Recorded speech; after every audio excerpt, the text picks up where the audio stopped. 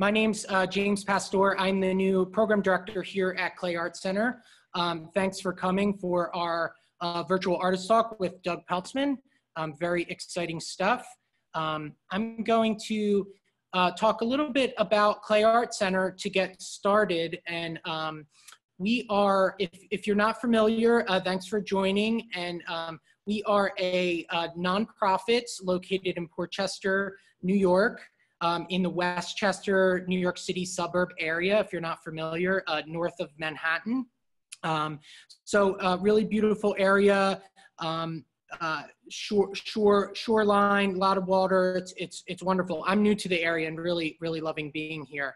Um, we were founded in 1957 and I'm showing you guys a little bit of what our mission is here because it's really important for Clay Art Center to offer um, uh, accessibility for all sort of ceramic education um, and, and opportunities to learn more and engage with um, ceramics and, and the makers behind them. Um, and so we're really happy to be here and, and offering this um, as a part of our new virtual free uh, public offerings is really important. So I wanted to say thank you um, if you were able to um, donate to this event, it, it, goes a long way. And, and if not, um, we're happy that you're here and, and, and that's important too. And we want everybody to have the same access and that's really important to us. So, um, so thanks again for that.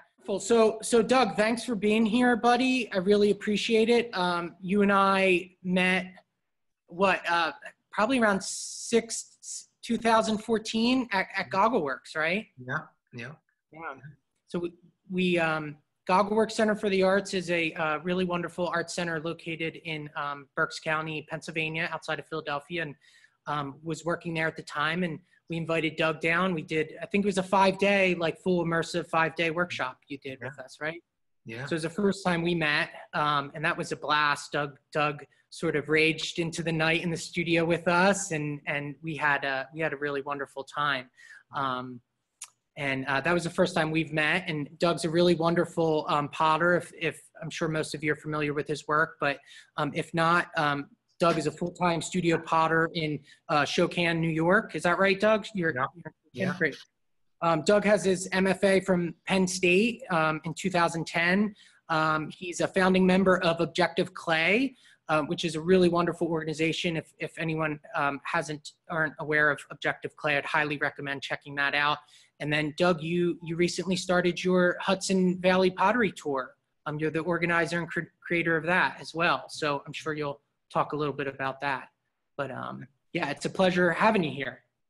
Thank you, James. I appreciate the introduction. Um, thank you, Clay Art Center, for um, putting together this programming for for all of us uh, in this strange time we're we're all sort of faced with. Um, uh, I think you know the only thing we can do uh, to the best of our abilities is deal with adversity um, in a way that's positive, right? So that's what um, I think we're all trying to do here.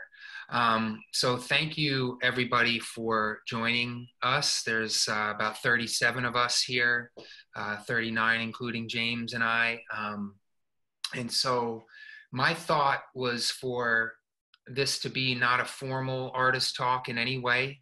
Um, drinking out of a nice Warren McKenzie cup. Um, Beautiful. I've got a Chris Staley one here with my leftover coffee from the morning.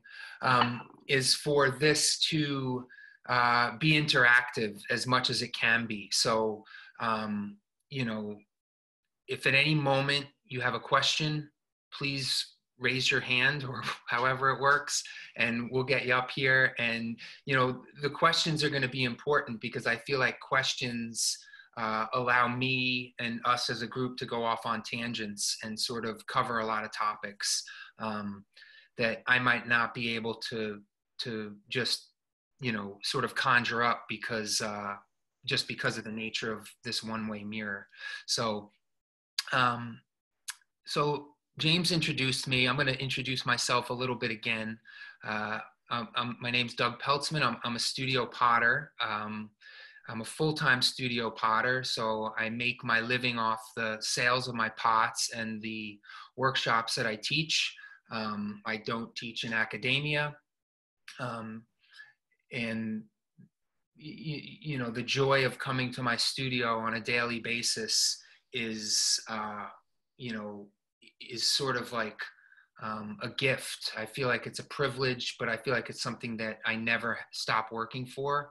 I always um, recognize that and don't take it for granted. And it just requires an immense amount of um, work, always building, always buying some sort of new piece of equipment to, um, you know, just push the ideas forward. Um, that's kind of what what I feel like making. Why I love making pots and, and, being an artist in general, but love making pots is for um, just this inner desire to always make something better, right? It's like you feel like you can always, no matter how great the pot is that you made the day before, you come to the studio because you feel like you can keep making that pot better. Um, and to me, that is a uh, sort of um, sort of a profound thing to uh, you know and a, and and not and again something that you know it's like a duty right? To keep coming to the studio even when the days are stressful um, and you feel like it might be the last place you want to be. That that that could be the moment where uh, where the where the where the magic happens. Um, so i the reason that my wife my wife is a potter too her name is pam. The reason that we live here in this area which is just in the southern foothills of the catskill mountains um, we live about 20 minutes from kingston new york about five miles or so from woodstock. Um, it's because we went to undergraduate that's where pam and i met um, at suny new paltz. We fell in love with the area uh, we spent 10 years moving around doing graduate school. I um, at Penn State, which was a, another amazing experience. Um, and then, you know, pivoting to starting a family, having three kids, and figuring out where we want to live. Um, it was sort of an easy choice uh, in this in this region, um, and so. Uh, what, what, what did I want to share? I have some books here I want to share. I want to share some uh, some thoughts about um, how to conjure ideas, um, drawings, and things. Does anybody have a question yet, or or we can I just keep going? No questions, Doug, yet, but you know, it made you know, you showing your your Warren McKenzie and your Chris Staley mug made me think. I wonder if I wonder um, about your your your influences um, and your favorite potters, and maybe we can launch one of those polls and see if anyone's interested in that. Mm-hmm. Um, and talking about any of your influences, because um, I know so much of making is about you know who you worked with and and what came before you. Um, yeah. So, yeah, I'm just. Yeah, I mean, you know, the I never met Warren, uh, but um, his pots have had a pretty pretty uh, immense impact on me as of late. Um, and Chris's cup is is very obviously very important too. Uh, you know, the the notion of um, thinking about mentors and people who um, impact your not just your work but sort of like the way you think um, Hey, Carol, I see your hand here. I'm gonna, um, Carol, I'm gonna promote you to panelist and, and, and get you on here. Your screen's gonna go down for a quick second. So, so just hang on tight. I'm gonna get you set up here, Carol. Sorry to interrupt, Doug. Carol, no, it's all good. Let's do it. Keep going. Yeah, so I was just saying, like, um, you know, I spoke with Penn State a couple weeks ago with their intermediate throwing class and chris's chris staley was the teacher. And one of the questions one of the students had was was graduate school you know do you think that graduate school is necessary? You know I, that's a very personal question uh, whether or not graduate school is necessary. Hi carol how are Hi. you? I'm good. How are you? Good to see you. I don't want to interrupt you, so I could wait till you finish that thought. Yeah, I was just going to finish by saying, like, you know, being asked if graduate school is necessary by your graduate school professor uh, is kind of a funny situation. Um, you know, because to me it was very necessary. I mean, to me, it's a very personal thing. Uh, you know, graduate school changed how I thought. You know, it, it provoked questions that otherwise wouldn't have been posed to me, um, and it uh, it changed my life in every way. You know, go ahead, Carol. So I was lucky enough to do your workshop at Clay Art Center. I don't know how many years ago you were there, but Yeah. um, my thought is just recently your work seems to have really changed. Yeah. Um, you know, you've, uh, you know, less of your lines maybe, and this w- last firing is just so, you know, very different and so incredible. So if you could talk about what led you to that, was there Yeah. anything, or you know, some change in your studio, or just where you're at now? And I mean, both are so beautiful, but I was wondering what made what happened that made such a drastic change. Yeah, no, that's a great question um, that I've been asked a lot lately um, because you know, you know, it, it it sort of makes me think about the past decade of developing a body of work um, and and getting to a place of success with that work and being able to put that work out there and sell that work and then completely sort of turning that on its head. Uh, you know it sort of goes to my personality a little bit. Um, you know not that i uh, you know not you know not that i'm like trying to uh, implode but um but but like uh but just asking myself questions about um the work i want to make. Uh so a couple years ago i i visited minnesota and i toured a bunch of studios and i had a really amazing experience with jan mckeachie johnston and randy johnston. Um, and uh, and over the years i've just been collecting stoneware pots. I find i found myself collecting a lot of simple pots lately um, and i started asking myself questions about what i wanted my work to be. Like like like you know it, i wanted my work to more align with the work that i love to use. Right. you know so i started to you know with the porcelain pots i i started to shift a little bit and simplify my drawings over the past year or so and and try to make the work not so labor intensive in the way that it was um, you know but more labor involved in the formation of the objects. So um, you know so thinking about how i made before was i would make a batch of 40 pots um, and then those pots would um, get to the right consistency they'd be trimmed they'd be put under plastic and then i'd have to inlay those at the right moment right? And it was it it it, it was okay until it stopped being fun Mhm. you know? So i'm, I'm going to touch on a, a lot of things because i'm just sort of uh, stream of consciousness thinking about these things right now but um, it got to the point where i just needed to find joy again in the studio you know though i was and that's not to say that i wasn't invested in those pots anymore and i wasn't giving them my all but i just wanted to make you know i wanted to make you know for a couple months 300 or 400 pots without go ahead I said, "Oh my gosh." yeah i mean you know quite frankly just to be able to explore all the ideas that i had backlogged in drawings and in my mind that i just couldn't get to because the process of my older the of the porcelain work was inhibiting me from doing in a lot of ways and i and i wanted to explore some new forms such as like a, You can take me down. Okay, great. Okay, thanks, Doug. And yeah, if you show everyone maybe the different work, that would be awesome. i'm going to keep riffing yeah Okay, thank you. Um, so like a form like this, right, which is a square jar, I mean a, a triangular jar. I've been making them square too. It's thrown, um, and it's thrown without a top, and the lid is thrown separate from the jar, and then that gets squeezed together without a top. Um, squeezed into this triangular shape, and then the top gets added as a slab.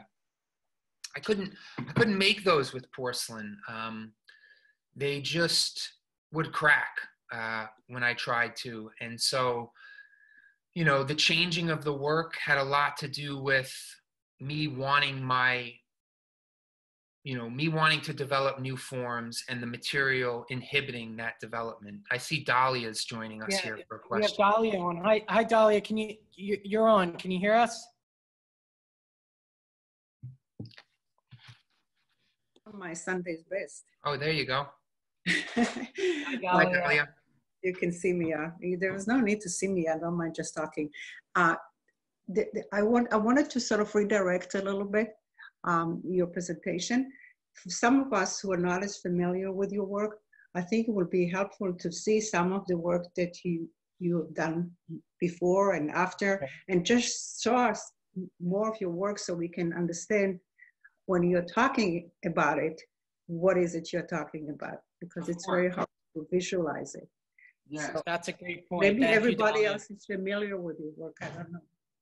I am, but not enough. Great. Thank You are you, also- Dahlia.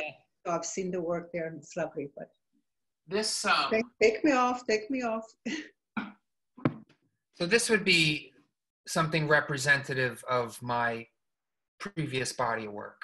Um, so, you know, a lot of this work had a lot to do with the gravitational movement of glazes. So I was using pooling glazes um, and the, uh, you know, I would I would inlay black slip into the porcelain at leather hard stage, and then bisque fire, and then add glazes.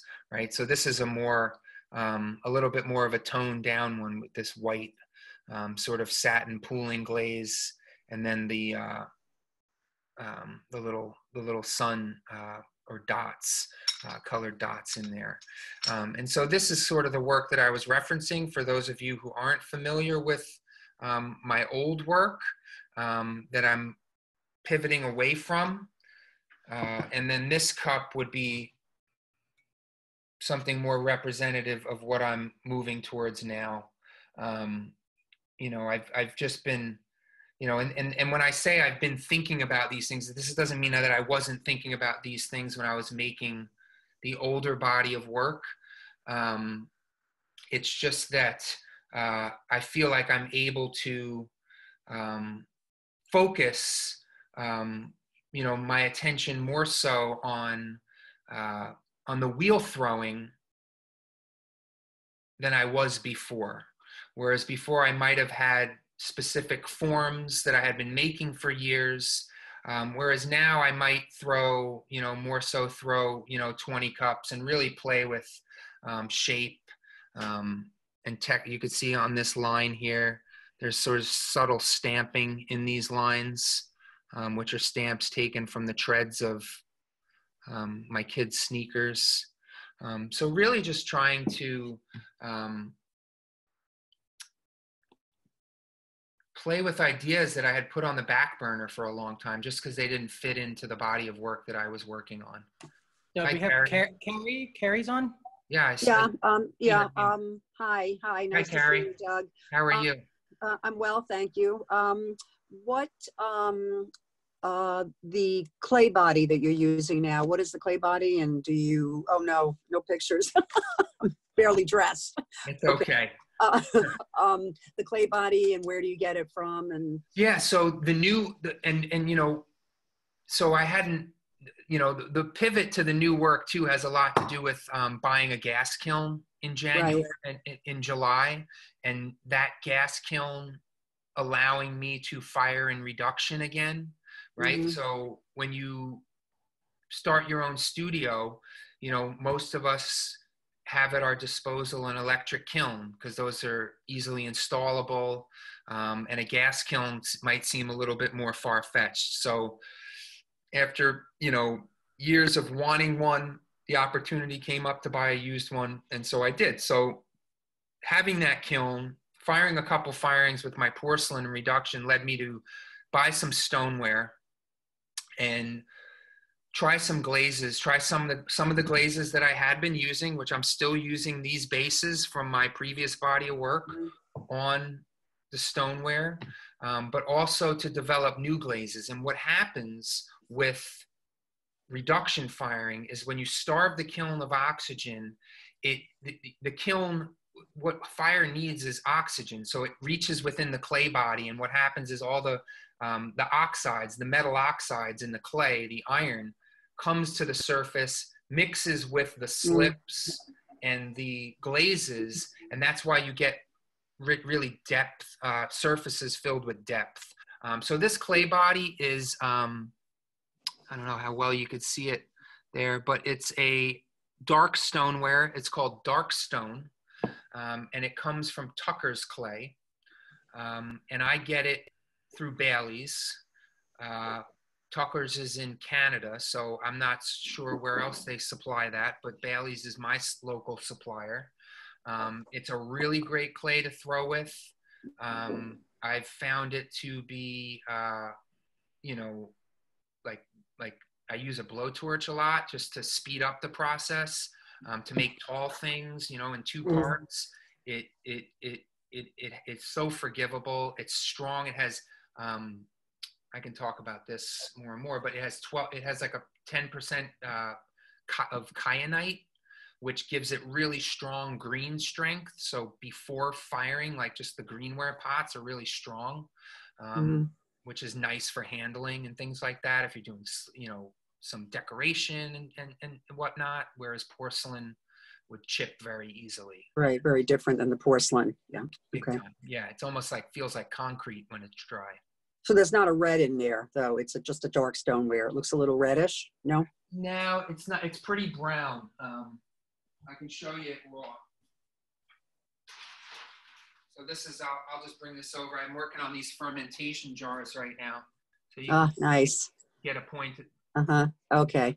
pretty chocolatey in this stage Great. Thanks, Carrie. I'm gonna I'm gonna Okay. Uh huh. take it down. Thank you. Before uh, before I take another question, Yeah. um, let me just um, really quickly, because um, it seems like people are there a bunch of questions lined up, James? That people, Uh, we, we have we have one from Robin. She Okay. she's she's asking just about your decoration and, and glaze process, um, specifically on those two pieces you were you were showing us. let let's hear it. Let's do it, since we're. Uh, Robin typed that in. So Robin, do you want to do you want to get on mic here? If you'd like to raise your hand. She had typed that in, Doug. There you go. Uh, Hi, Robin. I'll turn you on. Hi, Robin. Can you hear us? Yep, I can hear you. Hi, Great. Robin. Would you like your Would you like your video on, Robin? Uh, sure.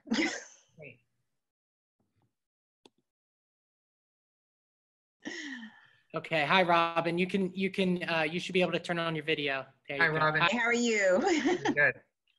Great. Yeah, I was curious, uh, particularly on the first piece that you showed, the teapot. I was wondering if you could walk us through how you decorated that. You mentioned that you did some black slip at the um, uh, leather hard stage, but I'd love to hear how all of that came to life on that first piece and also the second one. I'll do that. I'm going to get a, a little bit more of a complex one, and then I'll show you. Okay, great. Thank you. Thanks, Robin. Okay, so here's another teapot. And this was fired in the gas kiln. This is uh, fired to cone 10 reduction. Um, you can see the lid. Um, so the way that I, I, so these are thrown on the wheel. Um, this is thrown in one section. And then when this pot is leather hard, I, I trim it. And then after leather hard, I let the I, I, I, I call it the stage in between bone dry and leather hard, whatever whatever we call that. We all call that a little something different.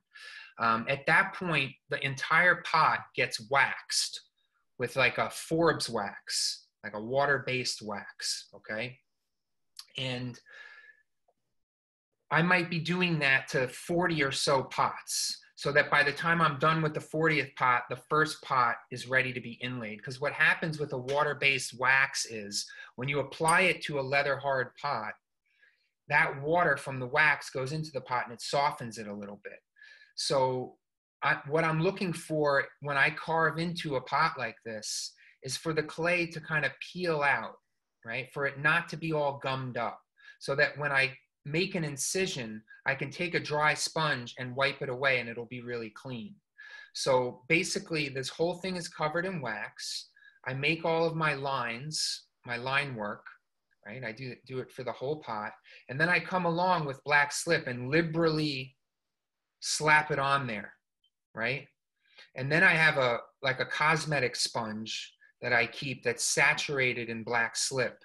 And then I come along and rub that black slip into all those recesses, making sure that it really gets inlaid in there. And the wax is protecting everywhere that I didn't carve, right? So that I can come along with a really wet sponge when all of that black slip is inlaid and wipe it all off really clean. Now, the reason that I don't do that after the bisque is because I found that inlaying porcelain with black slip after the bisque and sponging it off makes the pot really muddy. Right? I didn't I didn't like how muddied my glazes looked. I felt like they had much more pop if I did it, you know, that extra step before the bisque firing.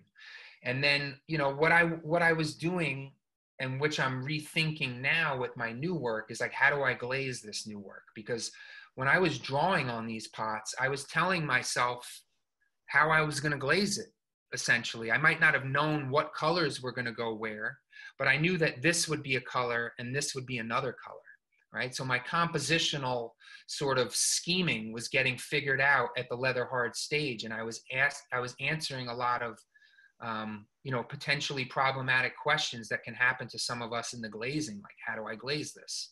So, um, so then this gets bisque fired and when it comes out of the bisque it just looks it's like a white pot with black inlay on it.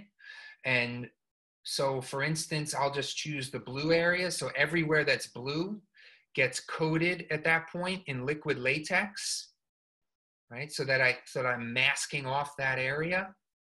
And then once that dries i can dip or paint or however you apply glaze the green glaze in here and not have to worry about getting that glaze or the cleanup here. So I apply my green glaze. And then once that green glaze dries, I wax over that, peel the latex off of this area, and then apply the blue glaze. Okay. Great. Um, it We seems have like a question from Elizabeth here. okay. Hi, hi, Elizabeth. Can you hear, can Hi, you hear Elizabeth. us?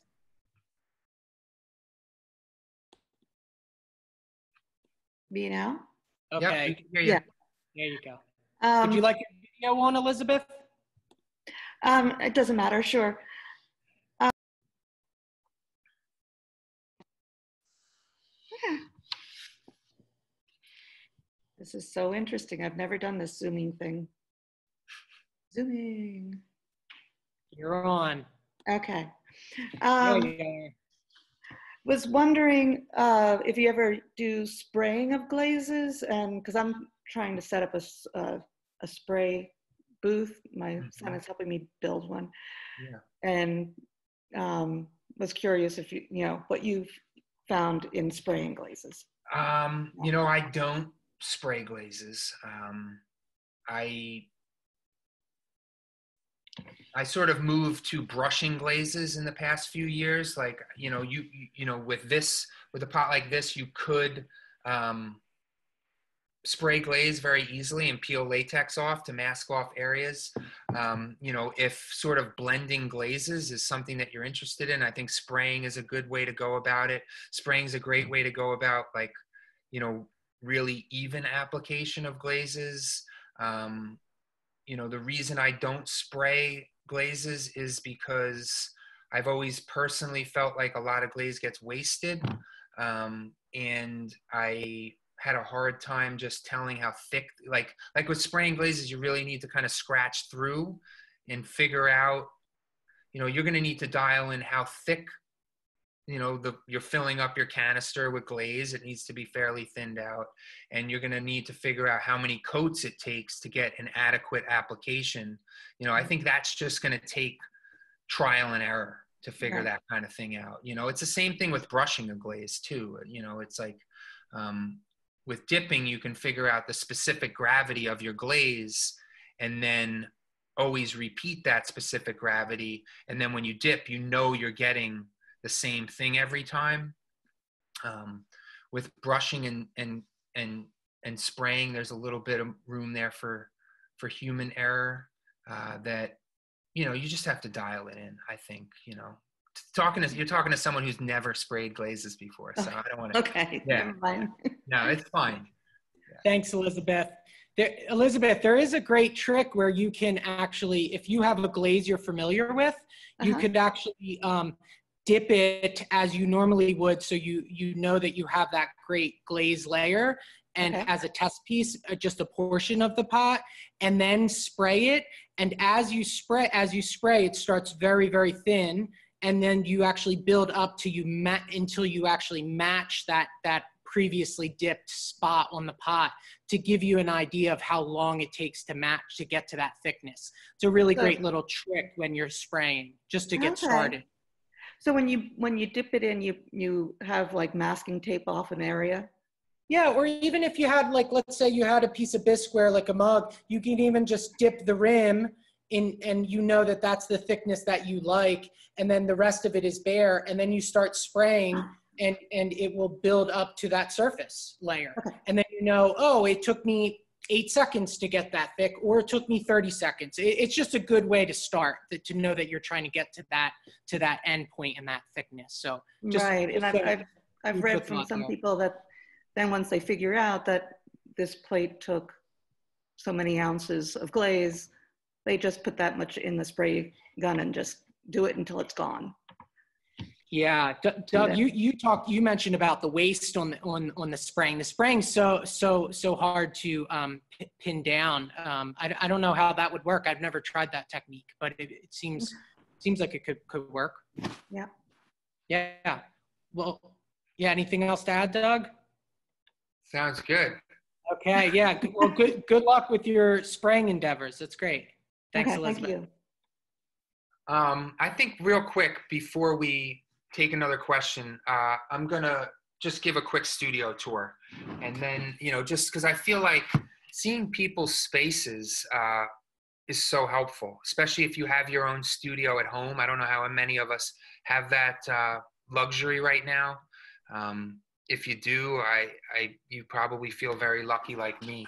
Um, so I'm just gonna kind of show you really quickly like where I was just sitting. So I in my studio here because of having the pottery tour um, a couple a couple years ago, I set up. You know, I, I wanted the space to you know just like look a little bit nicer and have like a, a gallery corner.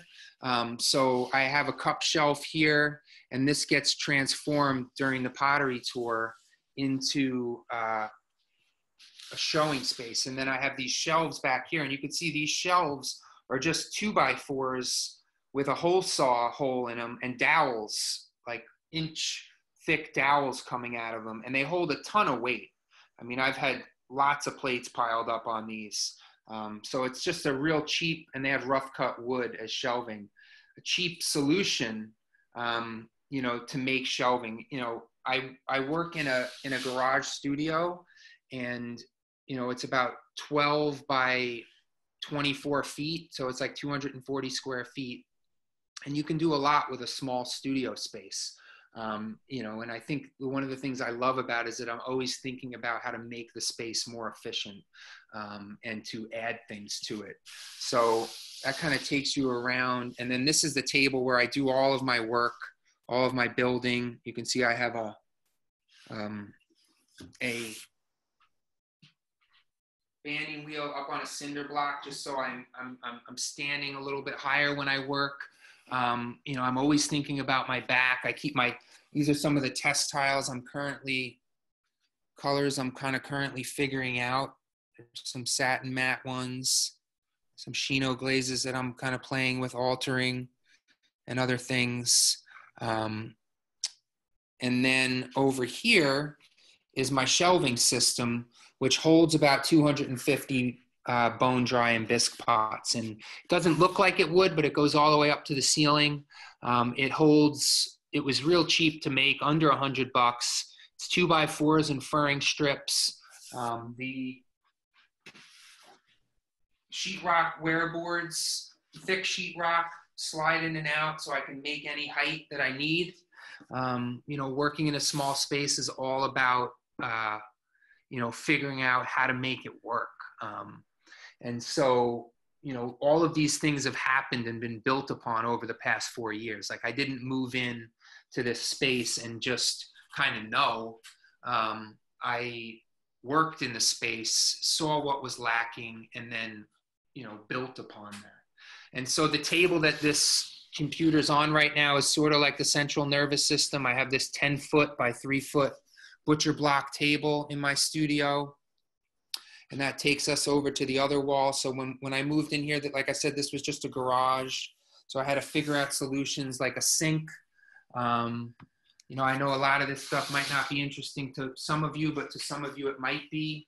Um, you know, I had to have a sink in here and I had to have a sink where the water needed to go out. And I couldn't do that because of some engineering and structural issues. So what I installed was a laundry pump under the sink down here, which pumps the water. There's a check valve in it. it pumps the water up this pipe here, up, and then it, it's gravity fed um, out, of, out, out of the house. So, um, you know, there's ways to make things work. Uh, and then this is my wheel throwing area. I have a wheel, I have two wheels. I have a world, uh, creative industries wheel that I use a lot for throwing big pots and I use it for, there's a diamond thing on there now for polishing pots and leveling them off. And then over here is uh, where I make and trim all of the work. Um, I throw standing. I can't advocate enough if throwing standing is something you would ever think about trying. Um, it saved my life really as a potter. Uh, I used to throw sitting in graduate school. I, I'm I'm healthier. I feel healthier as a 40 year old than I did as a 30 year old. Um, so my wheel is bolted to the wall, and I throw standing at the side of it. I don't throw from the front of it like uh, most of us might. And I control the foot pedal with my hand um, which means that I I pretty much set a speed and then throw at that speed, or I set a speed and trim with that speed. You know, so that my hand movements are directly proportional to the speed at which the wheel is moving. Another thing to mention over here, which is pretty cool, is I have these magnetic strips. They hold all my ribs. It's a, it's a simple thing, but it makes a world of difference to organize your tools. Trimming tools also um, and they're cheap. Uh, Harbor Freight is a great resource. Um, right now, the computer's on a banding wheel, so I'm just going to kind of turn you around. I have some storage of tools and whatnot. And then I have a 30 ton ram press, which is a fun little, um, well, it's a fun little 2,000 pound uh, tool to have, which I make pots on. Um, and if anybody wants to know more about ram pressing, I can talk more about that. But so these bowls, faceted bowls are ram pressed. Um, and these plates, square plates, are ram pressed. I don't know if you can see, but there's a real subtle texture carved into those. Um, so, and then turning in this direction is where my kilns are. Okay, so my kilns are in my studio. When it comes to bisking time, it can get a little hot in here in the summer, but I have a exhaust fan, an industrial exhaust fan that goes in this window right here. Um, and the kilns themselves are exhausted. And I have another window over here. This is my actually my first studio with windows, which is really nice. So I can create a vacuum of uh, fresh air in and hot air out. Um, the studio has been sealed off from my house with weather stripping on the doors. Um, so I can really make a like make a, a sealed space. Um, and we recently bought a medical grade H13 HEPA filter. You know, having a studio and then just that sort of and then I have another little test kiln down there, but that sort of brings you around to the to where we started. Some bisqueware on the shelves. Um, I have a studio uh, medical grade HEPA filter, uh, HEPA filtration, which we purchased um, which helps with the air quality like you would not believe. It's re- really great um, to have. Uh, so that's just a little studio tour. Um, I'm trying to think if anybody else has any questions. Uh, I wanted to share a couple um, a couple books with you all uh, that I love. Like I know a lot of us are, are are always learning and looking to buy new books. Does anybody have the Potter's Dictionary out there? Um, you know, in this book, you could look up, you could turn to any page and you could look up any topic, just turning to the iron oxide page. And, you know, you can figure out any information about iron oxide, um, its melting point. Uh, you know, years and years ago, I had this, um, this, uh, experiment that I was doing when I was wood firing with with zinc. I just took a couple chunks of zinc and threw them in a wood kiln. And when I we opened up the kiln, the zinc was gone, and I was like, "Where did the zinc go?" And apparently, zinc volatilizes in reduction, so it was gone. It, it turned into a gas and went up and out the chimney. Um, whereas in an oxidation firing, it stays and it acts like a flux. So you know things like that that I can reference um, in that book, which become uh, which becomes pretty pretty amazing. Um, James, do we have anybody with hands raised? Or? We we just had two, but they they went they went down. Does anybody have uh, Elizabeth? Here we go. Hi, Elizabeth. You're you're back on. Yeah, you don't have to put up an image. Um, was just wondering, you mentioned that your wife was a potter as well. Do you guys share a studio, or does she have a similar setup in the other part? Yeah, of the- I mean, Pam has her her own studio across the way. Yeah, so um, the, the one tool that's not in here that's in her studio because her studio is sort of like the porcelain space now. Um, she makes porcelain pots. Is uh, is the pug mill and her wheel, um, and we're still um, just finishing the floor in there. So yep, she has her own studio, which is important for for us. We love each other. Um, you know, uh, our love runs very very deep, but we also love to uh, have our own space. I, w- I really wouldn't want to subject her to um, to me. Thanks, Elizabeth. I, I'm a little bit of a not a control. Well, maybe a little control freak. You know, like tools and things. I don't know if you can tell. Like, um, but I didn't clean up my studio for this uh, for this virtual talk. Like, this is my studio. This is how it looks all the time. I at the end of a work day, I clean up. Um, my studio being in my home you know i mean i would be like this even if my studio wasn't in my home but my studio being in my home makes me even more aware of me, the floor needing to be cleaned. Um, you know there's a, a door a sort of a door there's a doorway right out here that goes out to the driveway.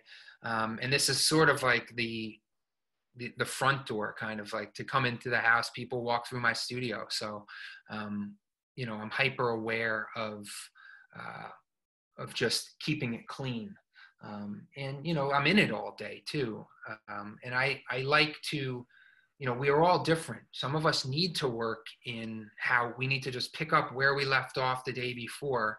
Um, whereas I need to clean my tools. I need to come back to a fresh space um, to uh, to begin work. So. We, I hope some of this Andrea. information is valuable to to everybody. Um, oh, Dahlia's back. Hey, Dahlia. Hi, Dahlia. You're on. On mute. Can you hear me? Yes, yeah, we can. Okay, great. Um, I was just wondering, you mentioned something that you said it was a, a tool or something that cost two thousand dollars, at RAM, RAM or something, and you showed some pieces that came out of it. I'm totally unfamiliar with it. Can you explain it again? What- Sure. It's uh it's it you know, I, I said it weighed the machine itself weighed two thousand pounds. It's a a Oh, it's ram 2,000 pounds, not. yeah, I mean they cost a lot more than two thousand dollars, but um Wow.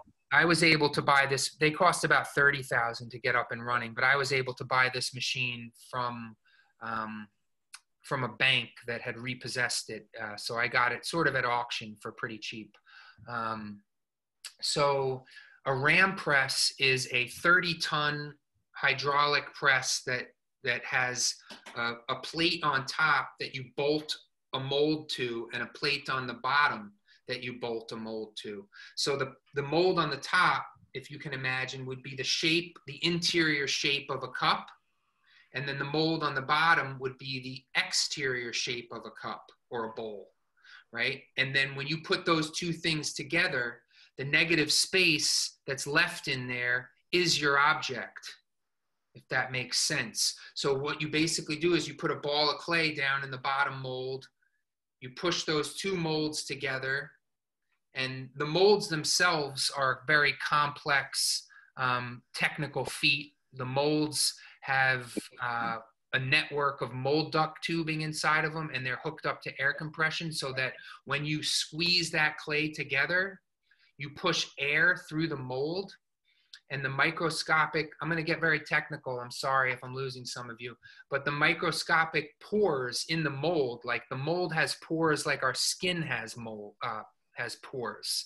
And the mold when you push air pressure into the mold the mold sweats water which allows the, the clay to release from the mold so when you push those two molds together and you have that object under pressure and then I push a, a, a button with my foot, which, which pushes air to the bottom. Mold, nice. that object is stuck, like this, say this cup was just pressed out of the mold. This mm. cup is stuck to the top mold at that point. And then with board, put a board under that cup and then push a foot pedal release, push air to the top mold, which releases the cup from the mold. Now, the benefit of making objects this way is that I can make a square plate. Once I have my mold made, which is a immense amount of work, prototype in the mold for that object. But once that mold is bolted to that ram press and I'm making square plates at the click of, you know, 50 to 100 in a morning, you know, you see the benefits of it really quickly because for you to make a square plate with a square foot by making it by hand uh, is very complicated. And another thing that the ram press does is it compresses clay under 30 tons of pressure. And what happens is we all know that clay has a memory, right? Well, under 30 tons of pressure, the memory is sort of erased. Um, and what happens is, is there's very, very minimal warping. You know, there's a tiny percentage of things that might come out of the bisque firing with a weird crack, you know, just because of the nature of clay. But 90% of those objects make it through the glaze firing with no warpage, right? So, um, so the reason that I invested in this technology was that years ago I was making faceted cups and I thought about how can I make these cups without having to throw a thick cup, facet it, whittle it down to get the weight right. And I thought about slip casting them, but what I loved about that cup was that the interior was round and the exterior was octagonal. Now with a slip cast uh, mold, you would lose that. The, the, the form of the cup takes on whatever that exterior shape of the mold is. But with a ram press, you can make a different interior shape of your mold than is the exterior shape. Anyway, it's a long conversation. I hope I hope that answered your question um, and didn't confuse anybody too much. Thanks, Doug. We have uh, Carrie Carrie back. Hi, Carrie. Hi, Carrie. Um, Hi, hi. Just a couple of quick questions about the, Yeah. process with porcelain. Yeah. Um, I'm assuming that you, uh, the slip you use, you use slip from your own clay body. You don't. Have you ever used underglaze, or do you find that it's it would be interchangeable? I the reason I like to use my clay body slaked down into a slip is because it fits the clay really well, right? And then do you use a black mason stain? Do you just get black Exactly. black mason stain yeah, and you that? can color. You know, you can color any. Right. You probably remember that from the workshop, but yeah, I would take a cup of my slip to like 50 or 40 grams of any mason stain to get like a saturated colored slip would work really well. And what, what's the black that you like to use? I What's the use 6600. Oh, you do? Okay. 60, okay. Um, the reason I don't use underglazes for inlaying is because I like when I inlay slip for it to be flush with the surface. Uh-huh, Whereas Okay. with the, you know, with the with the un- Amaco underglaze or something like that, pulls right, it pulls in. You wouldn't be able to kind of build that surface up. Ah, okay. And then the other question, why uh, water-based wax? See, I use so I use water-based wax on greenware Right, because it doesn't peel.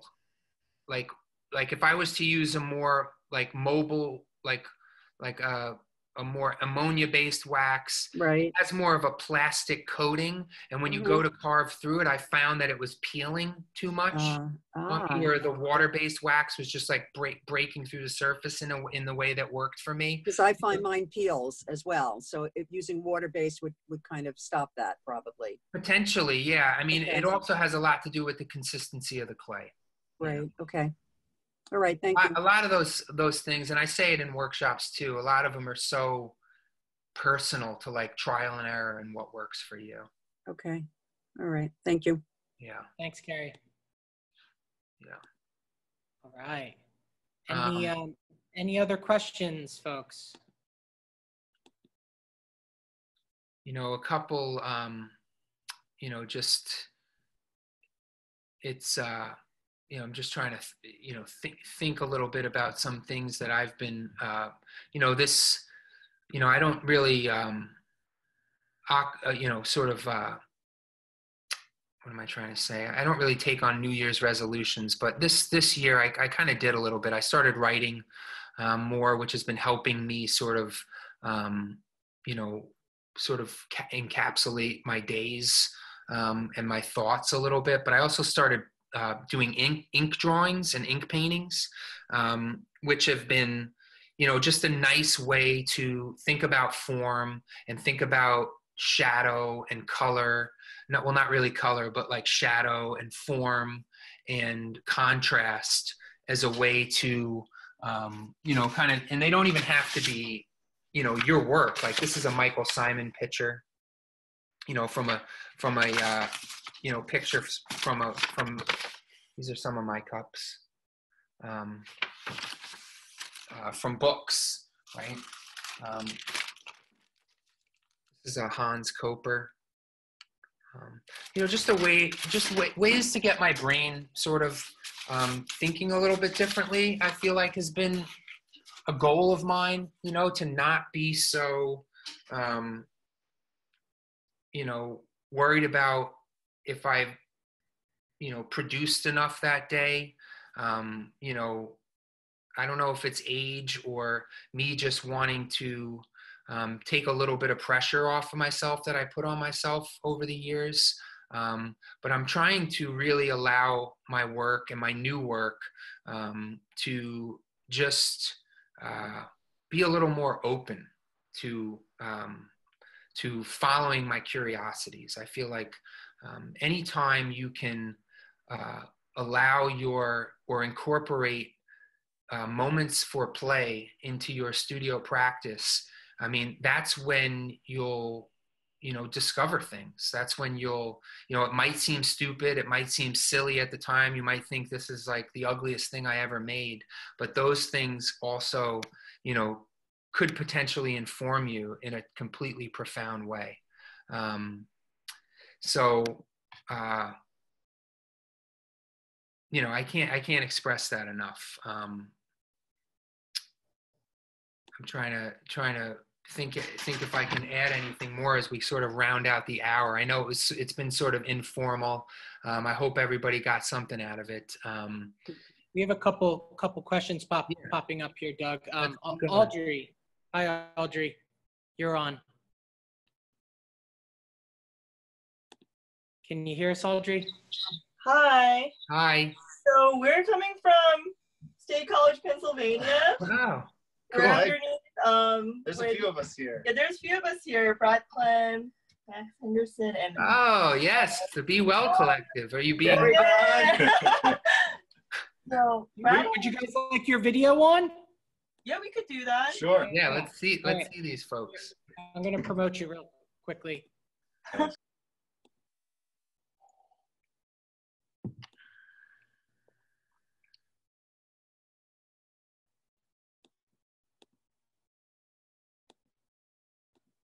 we lose him? Yeah, we lost them. Looks like we might have. We'll see. We'll Let, yeah, let's, I'll keep an eye, see if they pop, pop back up here. Okay.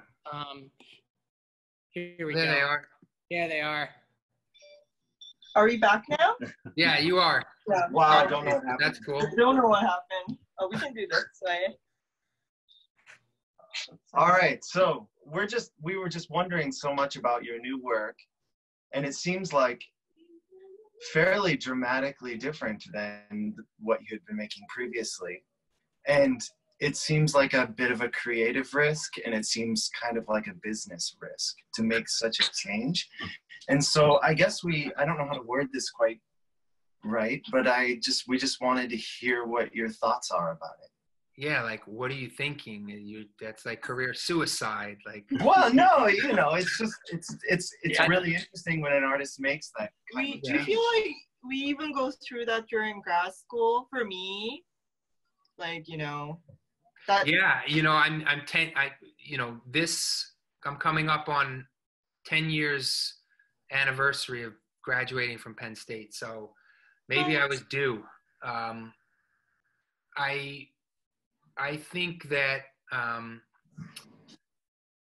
you might you you may have heard this. You know, I think Max was in the conversation a couple weeks ago with Chris, uh, and you know, I brought up something that I think about from Chris in, in in you know directly connected to what we're talking about here, which was a conversation I had with Chris probably 12 years ago about a teapot that he used to make that was this iconic teapot. Okay, it was like this square black and white teapot that was a signature in some ways of his like it was symbolic of his work at the time you know? And um somebody asked him in the group or maybe I don't, I don't remember how the question was posed but like why don't you make that teapot anymore? Right? And chris answered by how you know i might answer this question in that he could have made that teapot for the rest of his life and sold that teapot for the rest of his life but creatively that teapot had run its course for him. So you know this is a heavy question um, in that uh, you know i'm still grappling with that you know in like you know the work that i'm making now and feeling like for the past um, couple months like somebody died or like i divorced something you know like really having this gu- like feeling in my heart and my gut like of saying goodbye and then saying hello um, and opening myself up to new new ideas but not really. Um, you know so a lot of it i think on on a very base level just had to do with me being exhausted or exhausting my ability to keep developing that body of work. I felt like it hit in a good way for a long time and it fed me creatively for a long time, but it stopped being fun. Mm-hmm. And I needed to find joy again in the studio. You know, this is just, um, you know, and then, and then getting the kiln, but also getting the gas kiln opened up new possibilities. And I wanted to start, I started to see my work in a way where I wanted my work to more align with the pots that I wanted to use on a daily basis. And um, I think back on the trajectory of my life as a as a as a ceramic person, as an artist, as a potter, and early on, right off the bat, in 2003 when I started making pots and was first exposed to clay. I started reduction firing and wood firing, and that was my entry point into clay. And quickly, soon after that, I found myself in graduate school at Penn State asking myself big questions about what my work meant and how I wanted what I was saying to align with the work I was making. And that took my work on the path that it's been on the past tech decade, the past 10 years.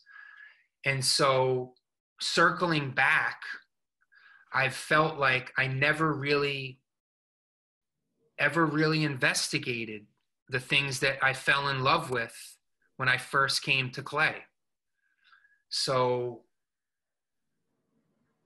you know maybe it's a 40 turning 40 like midlife crisis situation or you know maybe it's just uh you know like like me wanting to make pots that celebrate the phenomenology of glaze and not necessarily my impact as you know putting putting surface decoration on the pot but making you know letting the glazes have that inner inner beauty. You know a lot of it also when i've lately been thinking about really like the question you're asking like what's so it is because in my mind it's not so drastic but i feel i know from the outside looking in it's like whoa what's up you know because in my mind this has been happening for a long time but my my middle child my son leo is so into geology and rocks like in a way that's like extremely passionate like to the point where we're finding rocks, we're breaking them open, you know, we're figuring out what they are, we're looking at their colors, we're identifying things. And like just the, like looking at a rock and and like digging into the beauty of a rock maybe has a lot to do with it too.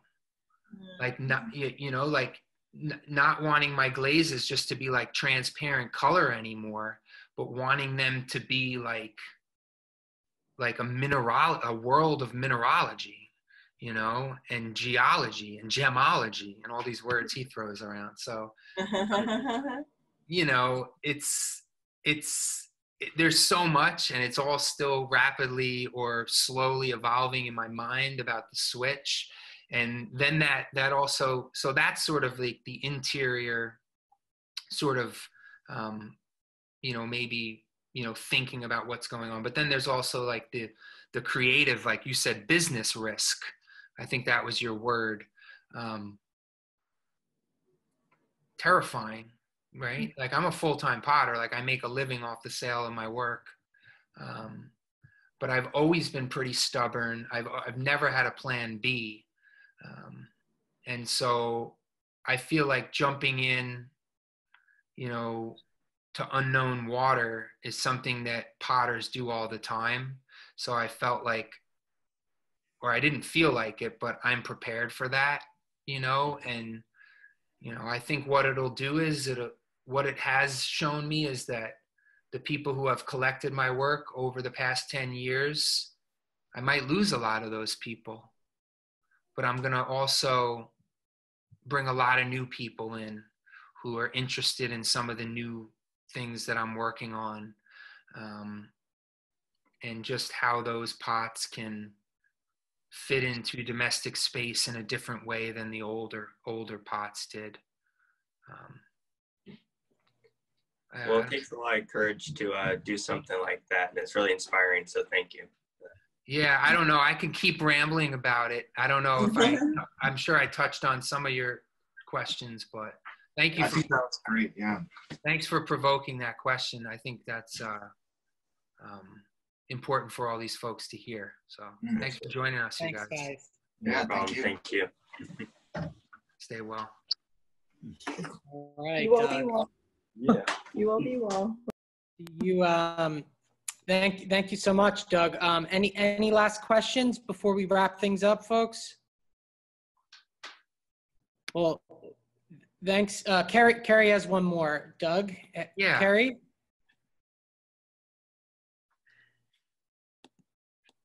Hi, Carrie. You're on. Okay, I'm wondering if we can get Doug back for a workshop.